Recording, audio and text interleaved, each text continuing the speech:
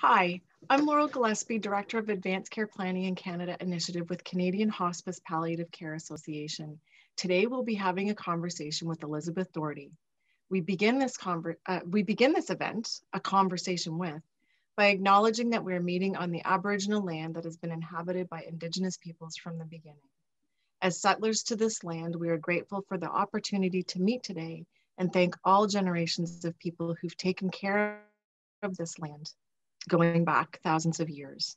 So in particular, in the National Capital Region where I am located today, I'd like to acknowledge it is the traditional unceded territory of the Algonquin and Anishinaabeg people. So today we welcome Elizabeth Dougherty. Elizabeth is a clinical social worker and educator with extensive experience supporting children, youth, and adults facing serious illness, uncertainty, and grief. After specializing in palliative care at the largest cancer treatment center in Canada, she started a community-based private practice supporting individuals and families of all ages from diagnosis through to the bereavement phase. Elizabeth collaborates on multiple initiatives advocating for greater access to high quality palliative and end of life care while teaching courses, seminars, and workshops across disciplines, settings, and sectors. So today we're going to speak about how to demystify advanced care planning. Today, we welcome you, Elizabeth, in joining us. Thank you so much, Laurel. I'm happy to be here and really happy to connect. Oh, it's it's so wonderful um, to host these interviews with people who not only are like-minded, but who are passionate about what they're doing every day and making a difference to improve quality of life for all Canadians. So I, I it's something I really cherish and I'm really grateful. We're really grateful at Advance Care Planning um, at CHPCA to have people like yourself who are, are willing to give of their time to share your insights and thoughts. So I have a few questions that I'd like to, to go through and it's sort of just a casual conversation um, that we try to have with people. And I'm really curious to know that um, how were you first introduced to advanced care planning in your career or just in life in general? Yeah, thanks for asking that, Laurel. Um, it's interesting. I think it's all about informed conversations, right? And, uh, you know, as a kid, I remember I was raised by my mom. Uh, my mom raised my sister and I on her own. And subsequently, in the midst of caring for both of us on her own, ended up caring for her mom in our home when she was facing end stage cancer. And I saw the impact on her as a caregiver, as a really busy single mom working two jobs, caring for her mom, trying to navigate the healthcare system, but some of those conversations as well. And she's a sibling. She is, well, there were 12 of them in the family. So navigating those conversations as my mom was a primary caregiver for quite an extensive period before, you know, my grandmother faced end of life uh, and had an acute episode um, in our home and actually um, had to be rushed to hospital. And seeing those experiences really were impactful. Uh, the range of experiences were really impactful for me. And I think without realizing, it really molded who I was and and the career trajectory for me. And seeing that experience with other family members as well. Um, uh, a cousin that I just adore cared for her son, young son, after being diagnosed um, with a brain tumor and what his care experience looked like, uh, and subsequently dying at home. So I think just seeing some family experiences navigating the healthcare system, but as a social worker as well, um, you know, informed conversations and trying to create spaces and places for people to share their values and wishes and, and explore that with them in a non-judgmental, safe space with humility um, has always been part of what I've done as a social worker, whether that was in internships in corrections or child welfare, you know, working with folks who are experiencing homelessness on the streets of Toronto, um, you know, even working in an addiction residential treatment center, you know, for folks that were struggling with substance use and misuse. I think it was always about, you know, what are your values and wishes and how do we explore that? You know, also appreciating that people experience trauma, right? Prior to us meeting them, but certainly when we take a proactive approach to starting with what they understand and then exploring where they'd like to go from there, or exploring what their options are um, for service, for support, for care, that was always impactful for me. And one of my internships, because I graduated with a degree in history after I quickly realized I was not going to actualize my dream to be Indiana Jones. I wanted to go into anthropology So recognizing that was not going to come to pass. And I often say, you know, I recognize that I was drawn to history and to anthropology because it was the power of these stories that was such a draw for me. And I realized as I graduated with my degree in history that I thought, you know what, it's the stories, yes, but it's about the people behind the stories. So I went on to take a diploma in community work at uh, downtown Toronto at George Brown. And it was eye opening for me in so many brilliant ways because the students in that program came from across the world to study in this place and work in Toronto with a multitude of lived experiences. And so working and living in that space and learning in that space was incredible for me. And one of the internships I had was in crisis intervention at an East End academic medical center in Toronto and seeing people in the emergency department facing crisis. Um, you know, it was more a reactive approach in that moment to see how we could best support people. Um, and so after I finished that year long internship, I stayed on and volunteered for another four years. So I was in that capacity as I went on to complete my bachelor's and master's in social work. And when I graduated, I was hired in um, an academic medical center uh, in Toronto and um, in general internal medicine. And it was there, probably within two weeks of working, that I saw a really young woman be admitted after a catastrophic stroke. She was young, incredibly vibrant and healthy, no pre existing conditions, experienced this catastrophic stroke and was unable to communicate for herself. And I saw her parents, her siblings, her partner at her bedside, and they were just heartbroken, thinking, what do we do? You know, what are our next steps? Trying to process things so quickly you know and yes there's the medical piece but certainly the emotional the psychological impact certainly was just hanging in the just the space the trauma of it all for them. She subsequently suffered another catastrophic stroke and died um, and the family was just left putting all the pieces together or trying to um, but it was you could see they were guessing right? What do we do? What would she want? And for me in that context as a new grad i thought wow you know something that I'd seen before, but not someone so young, right? So I think it certainly destigmatized the fact that, you know, it's not something that only happens when someone is in their 90s, right? People facing these acute medical events. And I knew that to be true, but to be present for that, you know, to see the trauma for not only this young woman who was unable to communicate for herself, but also her family, I just really informed how I move forward in my practice. And you know, while it was something that was always on my radar, it really conceptualized it for me, you know, really crystallized it in that moment, those moments, thinking, what can I do proactively for folks as they face their journey, whatever that journey is, whether they're, you know, being in healthcare, whether their illness is curative or not, whether it's chronic and long term, whether they're at risk of experiencing an acute event, or like Dr. Amy Tan, who I often draw people's attention to, right? These unexpected moments can happen anytime in the absence of complex or chronic illness. So, how do we create spaces for people to explore their values and wishes? You know, beginning with first and foremost what they understand, right? And then where do we go from there? And so that's just been a part of how i live my life. And i can tell you you know not long after that when i got pregnant um, i first thing i formalized was my will and my power of attorney. Although we'd had conversations before it was formalized before my first child was born um, and revisited every way through. So i guess without naming it as advanced care planning having informed conversations has always been part of my practice but it's very much been informed by the places and spaces i've been honored and privileged to be present in with families throughout their journey in healthcare.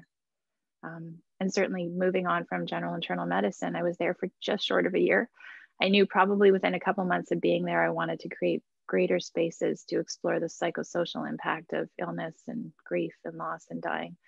So I moved to psychosocial oncology and then thankfully with an infusion of funding, the start of a new palliative care program at the largest academic um, cancer treatment center in Canada, uh, I was the first social worker dedicated and appointed to the team. Um, and it really gave me an incredible space to explore that with families of all ages and what it meant from them and how we could best support them going forward.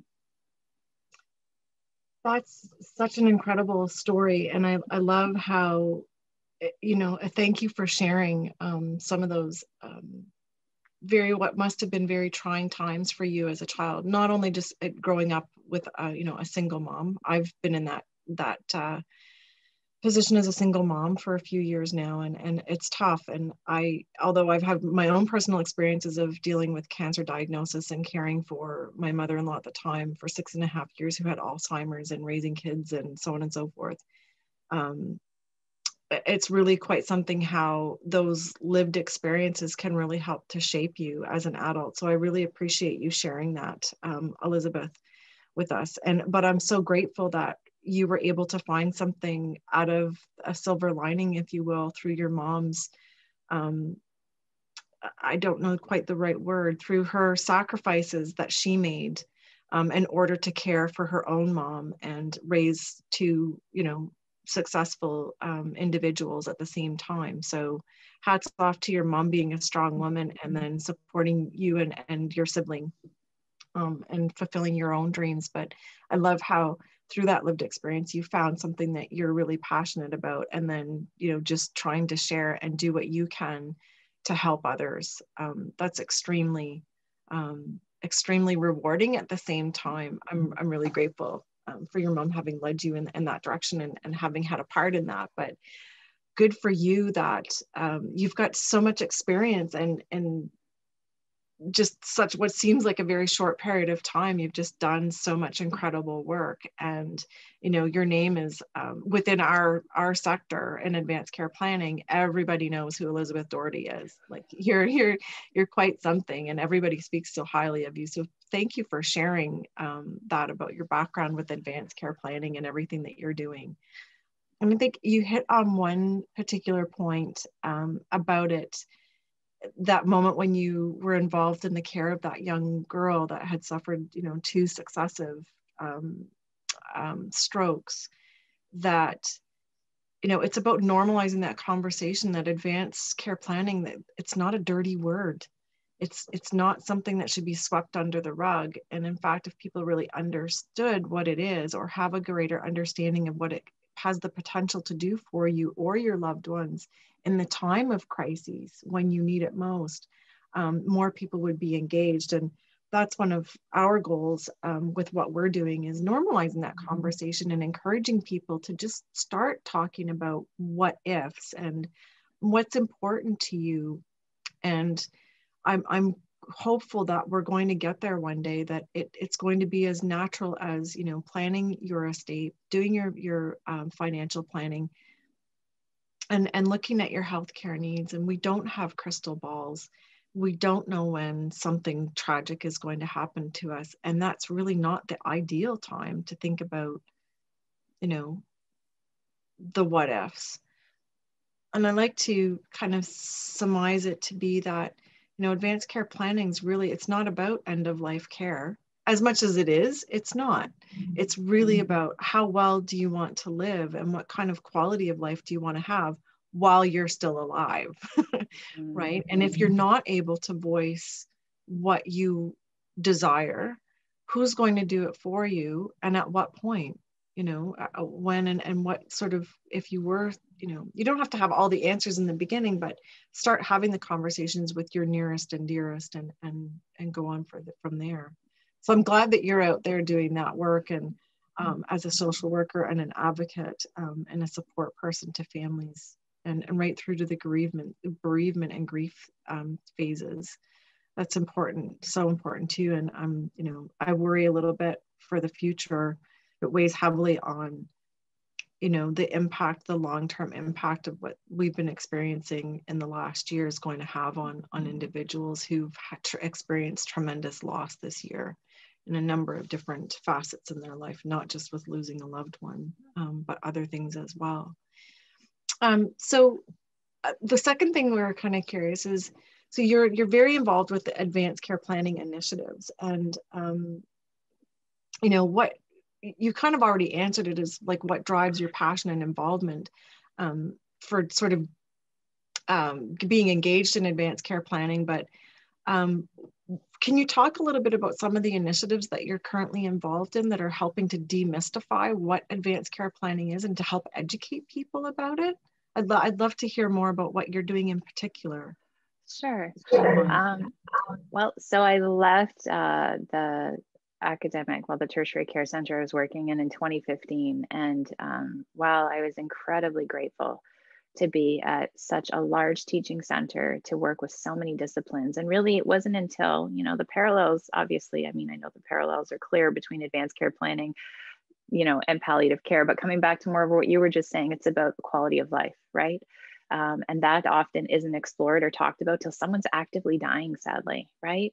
So for me, you know, I had the benefit of, you know, the other really brilliant part that I saw was that interprofessional collaboration and blending of roles um, and how we could support people in those contexts. So when I left um, that palliative care team in 2015, uh, with my roots in community work, I wanted to see how I could explore options on my own to see in my own community because I saw families coming to the hospital from across Ontario and they look to return home and say, Who do I talk to when I get home, or what other supports available?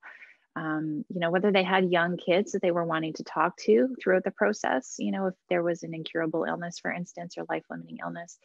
Um, but moreover just helping to navigate the system. So i started decided to start my own practice um, thinking that i you know yeah i also consider myself a lifelong learner and that i know it's always learning unlearning relearning and continuing that cycle over and over again which is part of what inspires me um, but in the process of doing so i thought i you know i've had the brilliant experience and exposure being a part of the system um, you know starting back in that internship role in crisis intervention and emerge you know back in you know 1993 so 94 um, i thought what can i use with that experience and go forward to create something in the community while also collaborating with my colleagues across discipline settings and sectors and that's what I've gratefully been able to do. So I have a clinical practice where I support folks from time of diagnosis, whether that's ALS or whether that's cancer, um, certainly a big part of that is helping them navigate the system because sadly, as we know, so many specialties and programs can be siloed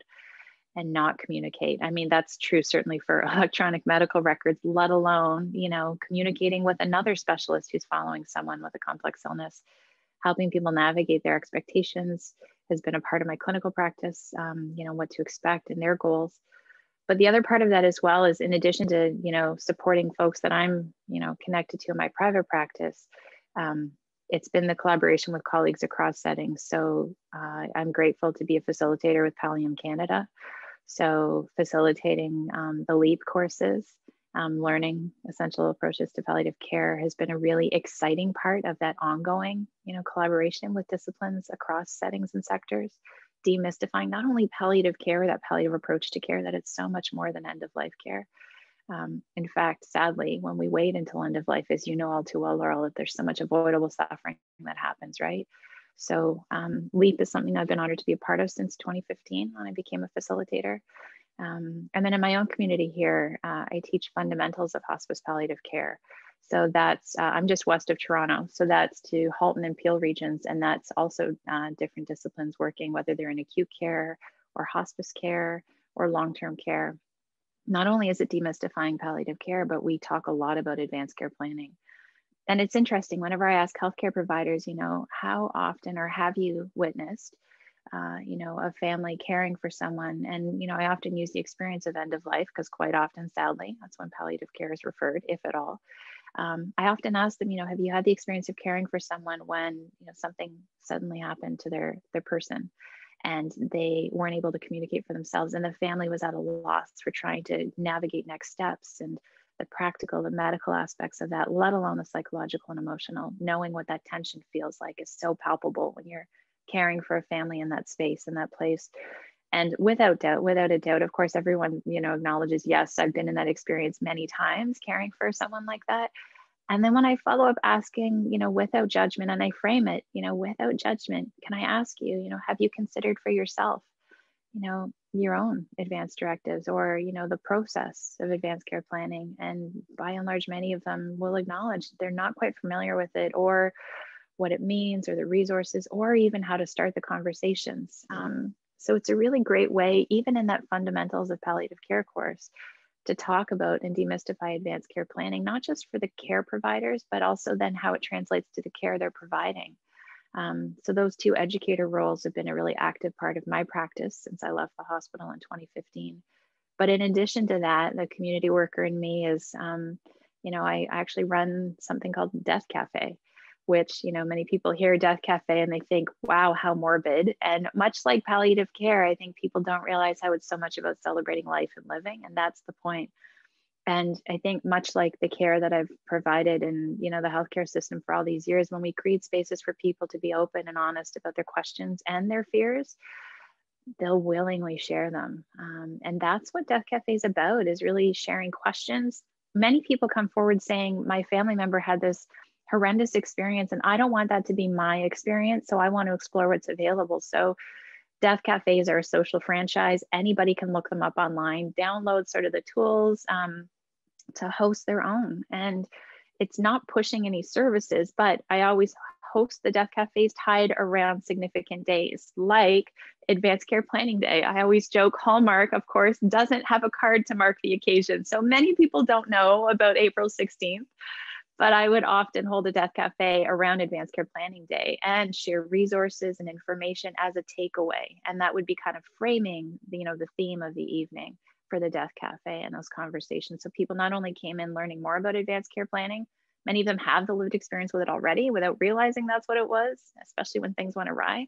Um, but then, you know, going forward, it's how does this resonate with you? And here's some free resources from Advance Care Planning in Canada that you can take with you you know, as I was mentioning our conversation just before we got started, Laurel, that I refer to those resources across provinces and territories all the time for folks, right? To go to credible, evidence informed sources to start those conversations for themselves. Um, so, death cafes are something, it's a volunteer initiative of mine. I refer to it as a compassionate community initiative, really connecting with people in the community. Um, but the other thing I do is I was grateful to be appointed as an adjunct assistant clinical professor with the Division of Palliative Care at McMaster after I left the hospital. Um, so that's another role that I hold. And I had the brilliant privilege of being connected to Dr. Joshua Shadd um, and the incredible faculty and team um, with the Division of Palliative Care. And Alan Taniguchi, Dr. Taniguchi is a legend. Um, it was his initiative, uh, really, that he started a reading initiative to kind of create spaces for people to have conversations through books that explored topics around illness, grief, loss, and death. Um, so we renamed the project, and I was grateful to join the project called the 100% Certainty Project Death, something to talk about.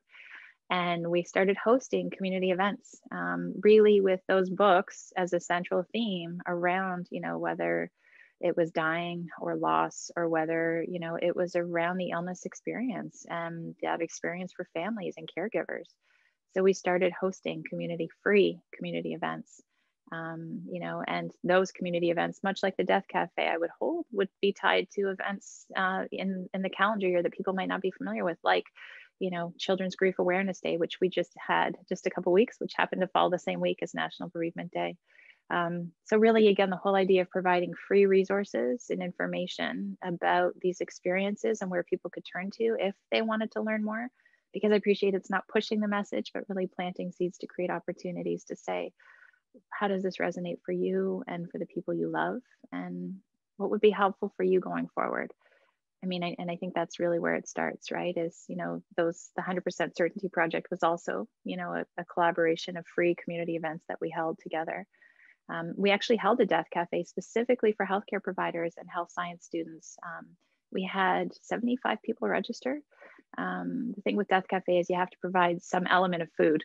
Usually they say cake and tea because, uh, yeah, it started it started in the UK, but we uh, ordered gourmet pizza that night at McMaster and had close to 75 people.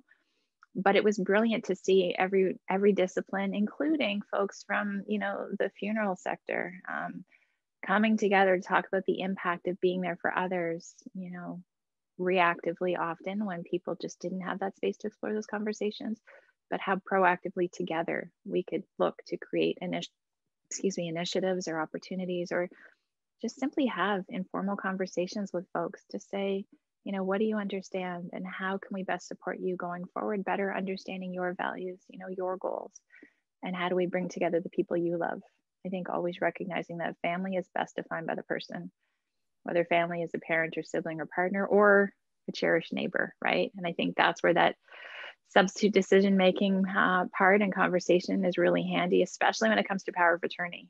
Um, you know, so people are really aware that it's not just your eldest child because you know you trust them the most but what those formalized processes can look like and especially here in ontario right what that legislation means uh, you know in terms of who would make decisions for you if you were unable to so i think a lot of people are surprised by that but all that to say is those are some of the things that i'm doing in my practice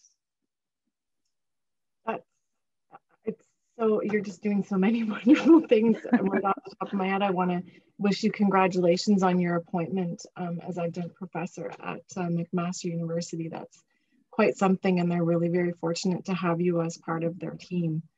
Um, the Death Cafe things, um, we've been following that quite closely, well, since I started um, in 2019 with CHPCA, and I really love the concept, and I think it's really important that it draws to a particular um, audience. I think mostly uh, I'm going to make the assumption that they're younger people um, that it draws to. And this kind of leads me into saying that as much as I, I, I admire and um, think it's so incredibly important to educate our healthcare professionals and our clinicians about advanced care planning and how to have those discussions and conversations with their, their patients that they're caring for, I think it's equally as important, if not even um, more important well not maybe not more important i think it's equally important to encourage individuals to take some responsibility for your own body so in that I, and if i can expand on that a little bit is that in my experience and i and i worked um, in a cancer center for uh, eight and a half years with some tremendously dedicated uh, medical oncologists and um, i admire them so greatly and this was after I went through my own um, experience with the cancer diagnosis. But um, I found that one thing that I, I thought was that needs to shift somewhat is that we can't burden our healthcare professionals with the onus of making them the ones that are responsible to ensure that people do this. I think individuals need to have some autonomy over, you know, what they want their care to look like. And, you know, I think it's it's it's unfortunate that um, you know people experience barriers to having these conversations whether it's you know the individual understands the importance of having these conversations with their loved ones or their nearest and dearest but yet maybe it's the the loved ones and nearest and dearest that are reluctant to have these conversations because you stir up these emotions about a sense of loss and that's kind of you know what i personally in my personal life with losing both of my parents within a few years and as the youngest of eight, it's kind of like you're left with all these questions of, is that what she wanted? And what were her favorite flowers? And did I make the right decision? And when people understand that when someone engages in advanced care planning, you may not have all of the answers, you may not have been mm-hmm. provided, but at least you're given some idea or it reduces some of the burden of having to make some very, very hard, highly charged, emotional decisions that can have long lasting impacts and you know has the potential to tear apart families if someone doesn't make the right decision and i just see that this is by people in, engaging in advanced care planning it's a win for the individual it's a win for the families and loved ones or you know those who are nearest and dearest. It's a win for the healthcare professionals um, and it's a win for the administrators and those um, who are charged with having to you know provide care. Um, when as you mentioned briefly that often sometimes people will experience unwanted or suffer um, extensively because maybe they didn't want treatments to be carried out at a certain point and then they they end up going through you know this test and that test and they maybe weren't ever really wanted in the first place. So you know it's i'm grateful that we have the opportunity that um, in this country with our universal health care system that we do offer palliative care but it's it's sad that it's not off offered um, consistently enough across the country and not always at the right time um, to the right individuals and in the right places. So I know there's lots of room for improvement. So I thank you for like everything that you're doing to try to encourage people to engage in the process of advanced care planning, even if they don't get it 100%, you know, start somewhere and at least communicate with someone about what your wishes are and, and it's un- also unfortunate that people don't understand that hierarchical system and and i will refer to um, you know the living well planning well document that we have on our website that it's about accessing your rights and each province and territory is different with the exception of Nunavut because they don't have any legislation yet around um, advanced care planning and, and personal care for healthcare needs. So it's important to always refer to your specific province and um, but people don't often understand that if you don't have someone designated to speak for you somebody's going to be chosen for you and it may not be the mm-hmm. person that you would hope to be um, making some very important decisions um, so uh, uh, I guess the, the next question um, that we had for you, and I guess you still, you kind of touched on it a bit already, um, but what motivated you to step away from working at the largest cancer treatment center in Canada to start a community-based private practice, supporting individuals and families of all ages from diagnosis to bereavement and um, and how was how did ACP play a part in that? And, and so you kind of touched on a few things but maybe you can also talk about, in your opinion, Elizabeth, um, because you did answer a bit of that question already, but maybe a second part to that was what do you see as the greatest barriers to people engaging in advanced care planning, if you wouldn't yeah. mind? Thanks for that, Laurel. Um, you know, it's interesting. I think we see it personally and professionally. Um, my two best friends I've had since high school. um, I can't even talk about what I do uh, because they get really quite, uh, when I say emotional, I know a lot of people use the word emotional, and that really doesn't tell us anything because joy is also an emotion, right? But they get quite upset um, be, and, and feel some, somewhat anxious because it's just like, I don't want to talk about any of it, right? I don't want to talk about anyone I love, let alone me getting sick at some point or being unable to just be able to communicate. So let's not talk about any of this. So we have an agreement. And again, I think it comes back to the work, right? Respecting where people are at. I know my two best friends, you know, on the planet that I've had since high school know what I do, but we just can't talk about it. Um, you know, conversely, my mom, who was an, and is an incredible role model, still working full time at 75. Um, she normalized these conversations for me when I was very young, all of it about illness, about dying and death, um, about grief and loss. And so seeing that whole spectrum of how it experience people experience it differently, um, you know, I was grateful to be able to be a part of that at, you know, the largest cancer center in Canada and worked with an incredible team, um, an incredible team of, you know, really different disciplines and seeing that blending uh, coming together of their different experiences and expertise to support families was extraordinary. At the same time, seeing families often in crisis, often these were reactive conversations we were having, not proactive. So, thinking about how we could upstream try to educate and inform more, recognizing I think that stigma is there, right?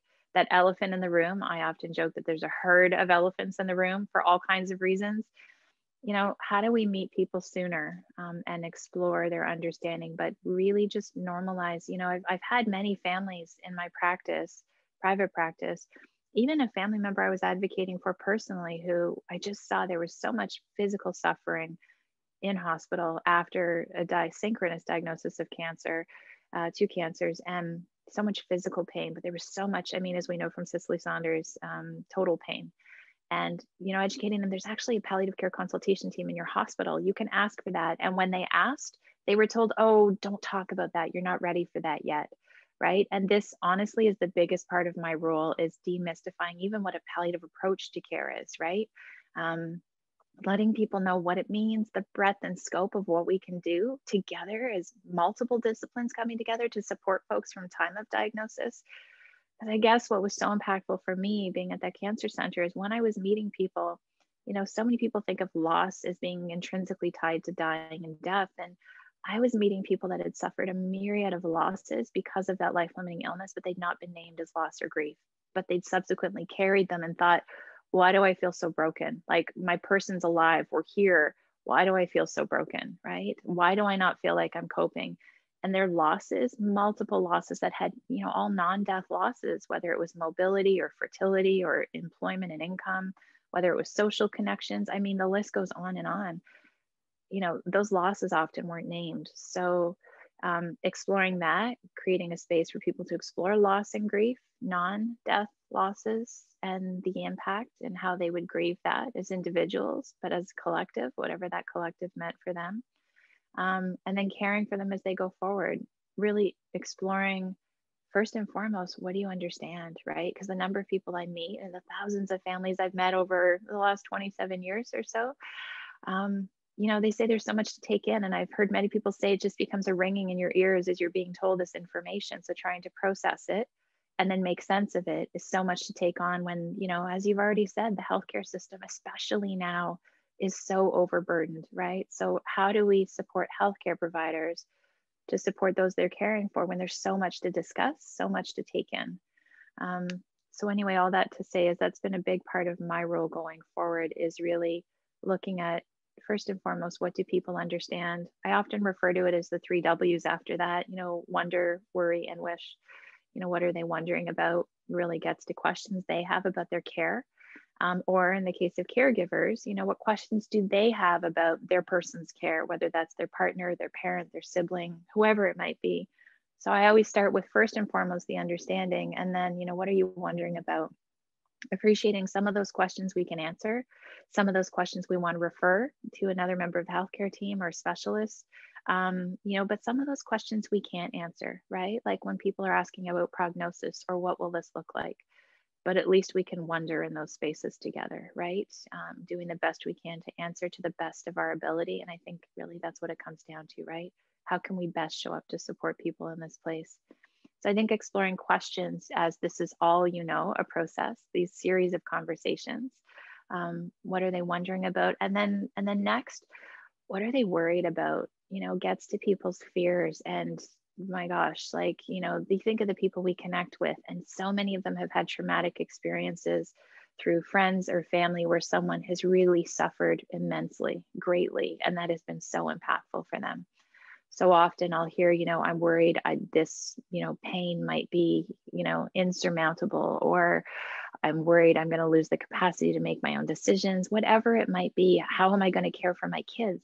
Right? Like, whatever it might be, exploring fears for people as well gives us a space to, you know, discuss what supports are available. You know, what can we bring in to address some of those fears or potentially alleviate some of those fears. And you know how do we communicate and collaborate with others in the process to try and wrap around as much support as we can for folks wherever they are in that experience um, you know and i see that a lot with kids and teens and i saw that a lot when i was in tertiary care when the parents would look to me and say i don't know how to tell my kids whether that diagnosis was curative or whether it wasn't and i think that was one of the biggest burdens i saw families struggle with and i stepped forward with really humility thinking you know, I'm not always going to know what to say and do, but I will not be afraid to care. You know, I will let that lead me and guide me and follow their lead in the process. So I think having informed conversations with the people they love, um, and conversely with caregivers wanting to communicate with the person they're caring for,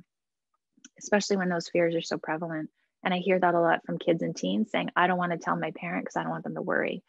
Or I hear the parents say, I don't want to tell my kids because I'm pretty sure they don't know and I don't know how to break this to them in fact, I just actually had a referral a couple of weeks ago from a family after being diagnosed to be sent home for end of life care. And the parent I spoke to said, I don't know how to tell the kids that their parent is dying. You know, my partner's dying. Uh, I have no idea where to begin. And and this was all remote. They're located in a different city than I am, but we navigated that conversation together. Really, about having a compassionate, informed conversation about what was next, and creating a space for their young kids in elementary school to talk about their fears in that context and certainly you know the questions they had what they were wondering about for for themselves for their parents especially as their parent was dying but the last w i come to is wish right when we talk about goals you know what is someone wishing for and in almost three decades in healthcare those wishes are you know small but meaningful and incredibly extraordinarily you know meaningful and, and on a larger scale but I think if we don't open up that space with people to say, what are you wishing for? We don't know, right? And some of those things we can help support. Some of those things, like I talk to the kids and teens that I work with, it might be like, you know, I wish I could have pizza for dinner. but, you know, when I was working in the hospital, I remember I was caring for a woman who was facing end of life. And I said, What are you wishing for in this moment? And she said, I wish I didn't have to drink tea out of this stupid hot plastic mug because it just tastes like plastic tea. and I love tea. I wish I had a proper teacup. That was the easiest fix on the planet. I literally went and got her, you know, a mug from the staff room, brought it back. We made a cup of tea, and she said, "Oh, like it was just such a small thing but such a meaningful thing. Or even in the hospital as i mentioned you know working with a young teacher who her plan was to go home and they'd always she and her partner also a teacher would travel across the country with her kids. And she wasn't able to because her disease was advancing so quickly. And i said what are you wishing for in this moment? She said i wish we could have gone camping one more time. And the cancer center i worked at had a rooftop garden and the palliative care unit overlooked the rooftop garden. And i said is it a trailer or a tent that you have? And she said, a tent. Why do you ask? And I said, would it fit out there? Pointing because she overlooked the rooftop garden. She said, yes. Why? And I said, um, is there any chance if I explored some options, you'd be curious and interested in maybe having a sleepover with your tent and your family out on the rooftop garden? And she said, of course, that would mean everything to me.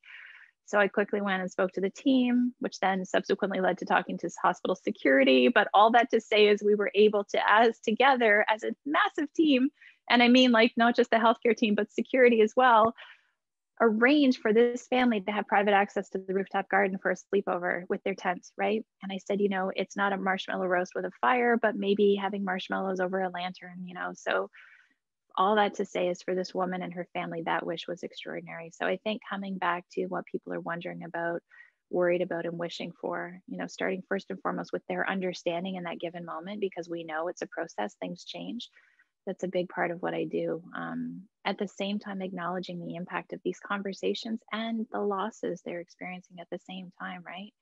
That we know that there are death related losses, but there are so many non death losses that people experience that aren't acknowledged and named and supported. So I don't know if that answered your question, Laurel, but I think that certainly has informed where I've taken my practice um, from being at the hospital and looking at supporting families of all ages in these spaces and places to have informed conversations about what to expect and what was important to them.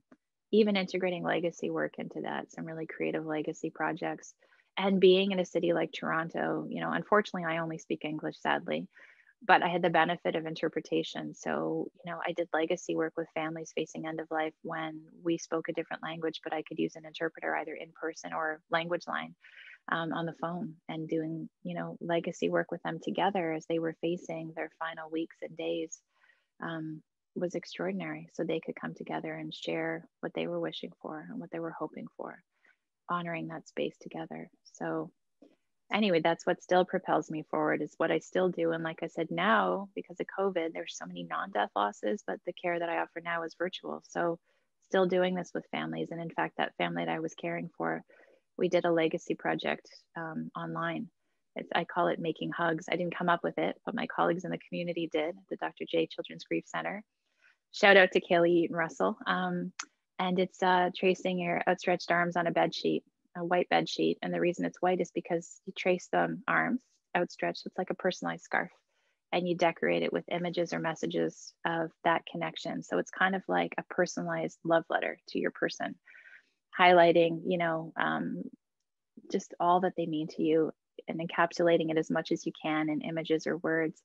Um, and that's something I started doing in the hospital. And I've had the privilege of seeing families surrounded um, by their loved ones making their individualized hugs and then they exchange them, right? So when I was in the hospital, I'd see them be hung around the hospital room. I encouraged families to mail them in if they couldn't make it to the hospital, which they did. But in my private practice, that's been a big part of one of the legacy projects I do. And with this family just recently online. So when their parent died at home, they laid their hugs across um, the parent's body as a tribute. And as I say to families, they can be buried or cremated with their person. So their hug stays with their person forever. So I think so much of this work is simply just about creating a space, right? You know, recognizing with humility, we won't know what to say or do, but following their lead, how do we respond? So. My heart feels so full right now with all these wonderful, beautiful things that you've just shared with us. I I love the three W's um, and this concept of the hugs. That that's just tremendous um, Elizabeth, and, and what a beautiful way of acknowledging the relationships that you have with individuals um, at a time of loss and that you're grieving and, and trying to help them. And the story about the, the camping, you know, um, all said and done, like although it was, you know, additional work um, for yourself and many people on as part of the systemic team um, within that setting. Um, what a beautiful tribute to that family and honoring what was important for them um, during one of the most painful times in their life, right? Um, and it's those mm-hmm. little bits of compassion that you know it's one thing about humanity that connects us all is we all respond positively to compassion when it's demonstrated and shown and offered um, so thank you for for honoring what's important to people and through that three w's what are you wondering about? What are you worrying about? And what are you wishing for? That's tremendous. Um, i hope one day you write a book about these treasures so that your legacy will go on um, one day. And you know sometimes in my conversations i often hear people say you know when i say like what's important to you? What are you what are you thinking about what you might want for yourself? And I think the most common thing I often hear is I don't want to be a burden. I mm-hmm. just, I don't want to be a burden to anyone, which is very selfless. Um, but at the same time, there's got to be something that's important. So you have to kind of dig a little bit deeper. And I'm wondering is, do you have any pointers of how to get around those kinds of conversation when someone just says, oh, well, I just don't want to be a burden and and encouraging them or prompting them to talk more about it. And then we'll go into sort of the, the final sort of last little bit that we want to talk about. But I'm just curious about how you get past that. Yeah, um, thanks for asking that, Laurel. And I think it's common from time of diagnosis, right? We see folks newly diagnosed, whatever that is, whether that's cancer or ALS or MS. And you know, the first thing I hear from folks is, I don't want to be a burden on my family, whether it's the range of medical appointments whether it's the treatment schedule, whether it's the side effects of the treatment. They're so worried about being a burden from the beginning, you know, and, you know, conversely and not dismissing their experience, the family is saying, okay, I've got to be in, you know, I'm air quotes, be brave, be strong, because I don't want them to worry about me, right? This is about them. So I think there's this universal experience of no one wanting to burden one another, right? So I simply just try to acknowledge and normalize that, right? Um, that it is so common but what does being a burden mean to you you know? And what do you think it means to the people you love? Um, and what do you think they're wondering about? Because without fail and almost 30 years of practice you know lots of volunteer practice in that too i think as i said at the outset it's it's just constantly learning and and better understanding how to support people. Um, so i think it's just normalizing it's so common. I see and hear it from kids when they have a parent newly diagnosed with a with an illness whether that's curative or not they don't want to burden their parents. So I think I simply just try to normalize it and acknowledge that it is a universal experience. It's a universal worry. Um, but how can we delve into that a little bit more? I think the three W's are a really informal conversational approach to exploring that with people, right? Often when, you know, they talk about being a burden, what are you worried about, you know, in terms of being a burden? What is it that worries you? Because these three W's, I ask kids as well, right? I ask teens, I often even talk to families because I think coming back to your previous question around barriers, communication can be a barrier, right? Itself, if we don't delve into some of these spaces and places. So, creating openings to explore what someone's worried about in terms of being a burden for both the person diagnosed with the illness and the family member. And I appreciate advanced care planning isn't just about contending with illness, right? I know there are those acute events. So, if we're talking about future planning, you know, what would it mean to be a burden? Um, so I think it's just normalizing it and acknowledging that it is a natural, normal fear. But what can we do, and how can we support as healthcare providers across discipline settings and sectors? How can we help explore spaces to open up these conversations? Because lots of people say, I don't know how to tell them, or I don't know what to say. So simply even saying, you know, I know from my own practice that families worry, often worry about the same things, but in isolation because they don't want to burden one another. Um, so how do we open that up? And some of the kids and teens I work with, when they have a parent diagnosed, or conversely, the kids or teens are diagnosed, I talk about creating a three W's jar or three W's box as a practice to check in with each other and share their three W's with, with one another, right? Because when we're talking about supporting families going forward, um, how do they first create and honor their own experience together as they move forward? So I think just trying to explore strategies, explore what it means for them. Um, and then, you know, I guess asking as well, you know, about their relationships, because sadly, we know many people don't have support. Sadly, I also have seen many married couples that could be not, you know, further disconnected from one another, um, where, you know, they feel really isolated and alone, even though they're living with someone else. So I think it's exploring what does it mean to them always? What does it mean to the person? And how can we better understand how to support them? Um, and, and find ways that are, you know, I don't want to say make meaning because I don't want to dismiss someone's experience with with a complex illness, but again, what they wish for, you know, whether that's a conversation with someone they love, whether that's an experience or an event, whether that's sipping their favorite cup of tea out of a decent teacup, you know. Um, I think in my work, I have learned that because I've seen so much illness, loss, dying, and death, that and so much loss and grief, I absolutely appreciate what I refer to as the extraordinary and the ordinary moments. Um, my kids smile. I have three kids.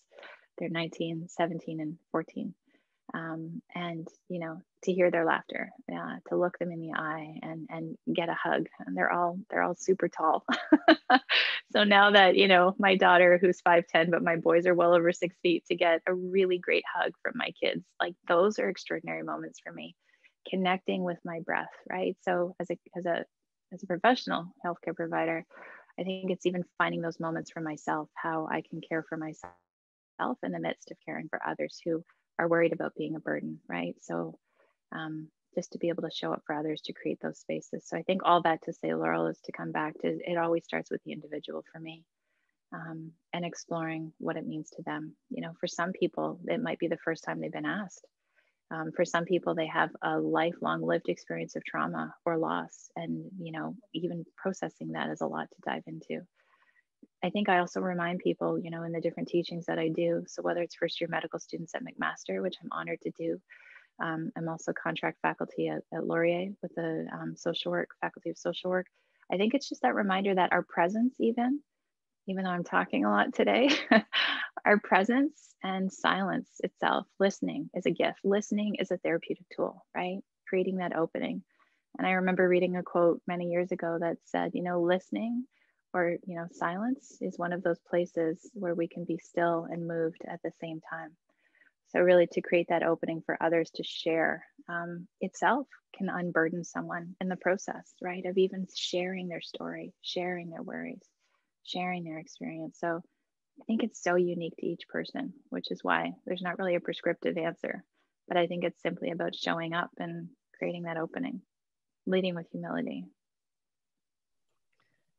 I'm so grateful um, to have been able to talk to you about um, advanced care planning and, and so many other things. Um, I'm just really, truly grateful for you sharing your time with us today, Elizabeth. And um, I could see maybe that future down the road that we'll probably maybe have opportunity to do another check-in and, and explore some other areas of advanced care planning with you and palliative care or palliative approach to, to care and you know creating that compassion um, and how and it's it comes down to it's how we care for each other whether it's in our personal lives or professional lives um, and in all facets. But um, so i on behalf of um, the hospice palliative care association and the advanced care planning initiative in canada um, i'd like to really sincerely thank you elizabeth for joining us today and sharing your thoughts and and your just brilliant ideas um, that you talked about.